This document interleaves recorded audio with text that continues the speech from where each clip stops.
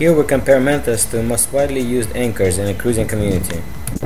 We're in the Galveston Bay just south of Houston, and the bottom is a very dense mixture of sand and mud. We'll be using a 3,000 pound PTO winch mounted on the Chevy, and the starting scope will be 10 to 1.